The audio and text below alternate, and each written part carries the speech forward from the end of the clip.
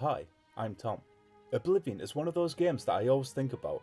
It had everything going for it at the time big open worlds, interesting character developments, and of course, amazing quests.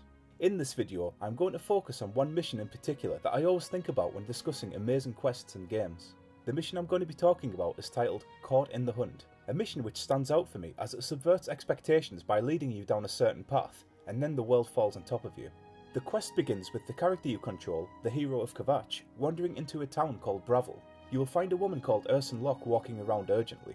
You talk to her, and she tells you that her husband Aleron has a gambling addiction and often visits the arena to bet on combatants. He did this with the hope of winning big and then moving out to a bigger city.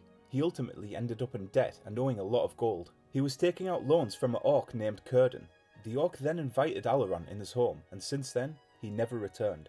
So now it's up to the player to accept the errand and go visit Kurdan themselves. You cross a bridge and enter a small lodge. You then find Kurdan and talk to him. He comes off as hostile straight away, so you have to use the world famous speech skill in order to gain his trust. He then asks a favour of you. He tells you that a family heirloom has been lost in an area called Fort Grief Island. The item in question is called the Axe of Dragol. Return with the axe and he will tell you of Aleron's location. The only way to access the area is by boat. Kurdan has one waiting for you, which you can use. After sailing to Fort Grief, you will find that this area isn't accessible by any other means, as it's surrounded by miles of water. The player opens a gate which leads into the fort and you find Aleron almost immediately. He looks downbeat and informs the hero that he has fallen for the same trick that he has, and goes on to say that Kurdan promised to wipe away his debt if he retrieved the axe. He also tells you that the gate to the entrance is now locked. So what is going on here exactly? Why is Kurdan luring people out to this place? As it turns out, this is a hunting ground where clients pay Kurdan in order to hunt human prey. To make this sick game fair for the prey, the hero must kill the hunters and retrieve the keys in order to win. After the task is completed, you return to Aleron who is now confronted by Kurdan, who quickly kills him. Once you are finished fighting Kurdan, you are free to leave. The player returns back to Ursanne with the devastating news. It's truly a tragic end to a great quest. As with most open world Bethesda games, this mission can be tackled whenever you wish. I decided to attempt this mission early on as it's one of my favourites. I always seem to prefer Bethesda's side quest missions compared to the main quest. I guess it's because with main quests you can always go too deep down the rabbit hole and before you know it, you've completed the whole story. Side quests feel more rounded and more thought out to me. Sometimes main quests can have an all filler, no thriller kind of feel to them. The first time playing this quest felt epic as you were given these crumbs to follow in terms of a story that doesn't quite add up. That was about 15 years ago though. When I played this section of the game recently, I appreciated it for more reasons than just nostalgia. I noticed that the breadcrumbs thrown down by Kurdan were progressively getting worse as you continue the conversation. You can clearly see that he is setting you up for something sinister. I missed this the first time around. The story has a lot of depth in it to make it into a main quest line or a side quest that has a few more outcomes. One small problem I have with this mission is its title as it gives away the twist. It would have been more mysterious to call it something like A Man and His Debt or something like that. When you first enter through the gate at Fort Grief, you are greeted with blood smeared all over the walls and in the courtyard. Skeletons lay on the ground, which is a spooky indication indeed. The fort is decaying. The place is rotten with the corpses the hunters have killed. On top of this, the courtyard is fairly open, but because you can't escape, it seems small, almost claustrophobic. After you talk with Aleron, you head underground, which is incredibly dark. There are lots of traps which can prove fatal. I had to always have the light spell active in this area as it's difficult to navigate otherwise. The hunting ground is designed so that it's a one-way system. You cannot take shortcuts necessarily, but there are certain paths which take the same time as others. They are just there to disorientate the player. It's interesting that this quest is about sending you on a wild goose chase, only for you to get more confused when you are at the end. The characters in Oblivion can be outdated and comical at times, due to how old this ambitious game is. This doesn't stop the player from enjoying the side quests and the strange scenarios that you find yourself in. This game makes you wonder what certain characters' motives are and whether they are telling the truth or just taking advantage of you. In the case of this mission though, Ursanne and Aleron sound sad at the thought of losing each other, and with Aleron being in debt and in a dire situation, this feels tragic as you genuinely feel sorry for him. Then there's Kurdan, an orc that initially comes across as strict but rather reasonable, only for him to turn out to be a nasty bastard that gets off to hunting vulnerable people while making a quick buck. If I could show a person one quest that reflects the Oblivion universe and reveals both the yin and the yang of the characters, then it probably would be this one.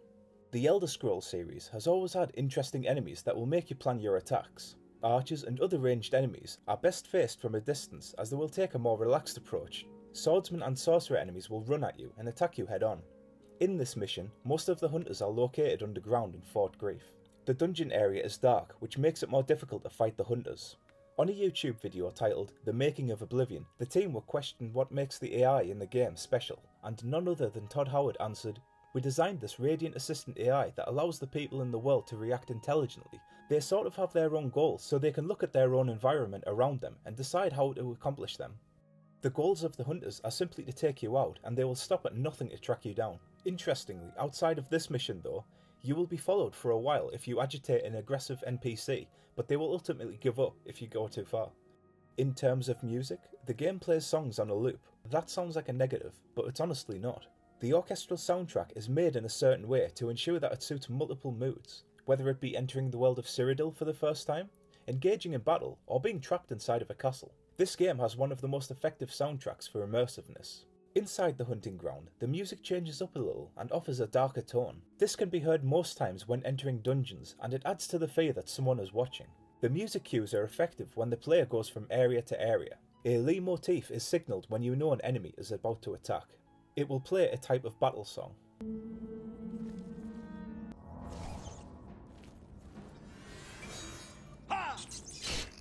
This is highly useful when you don't know a hunter is about to strike. Although the game released in 2006, certain aspects still make it worthwhile to go back to this classic game and rediscover everything that it has to offer. Even with amazing open world games still being released every few months, it's missions like this that makes the whole experience worth revisiting. Although the engine and graphics feel a little outdated, the core of the game makes everything as enjoyable now as it was then. The world of Oblivion is unlike any other, well, except maybe Skyrim and the Witcher series. Every other open world game has its own merits and exceeds in areas that Oblivion doesn't, and vice versa. You can explore most areas on the map, but most missions will make you explore one particular area. Caught in the Hunt is no different. This mission makes you get on a boat which sails you out to an area you cannot access unless you are doing this quest. I like these limitations at times because it makes the area you are exploring just that little bit more special. Bethesda games, like Naughty Dog and Valve, are experts when mixing exciting gameplay with occasional puzzles. I always welcome this, as you can get burned out if you have too much of one thing and nothing fresh. Upon arriving at Fort Grief, you get told that you need to find the three keys in order to escape. Sort of like Fort Boyard, really. This makes the player hunt the enemies instead of them hunting you. It is possible to sneak up on the hunters, but you have to be extra vigilant as the traps are very easy to set off, and they also draw a lot of attention. The objective of finding the three keys adds more excitement to the quest as you have to search each hunter to see if they have the keys on them. They prove pivotal in order to escape and explore the world of Oblivion. Normally, in other missions, the player comes across reading material and other subplots relating to other characters. Unfortunately, in this quest though, there is nothing of note, just traps and hunters waiting for you. Everything has been stripped bare, like how a hunting ground should be. This is encouraging for the player though, as that means that there are no distractions and leads to hidden areas. The player just gets on with the task in hand, killing the hunters and escaping. Cameras in video games are often overlooked when talking about games. I feel that in the game Oblivion, the third person view is limited to outdoors when venturing through forests and over mountains. I rarely utilise the third person camera angle in Oblivion, as I feel that the first person is always more immersive.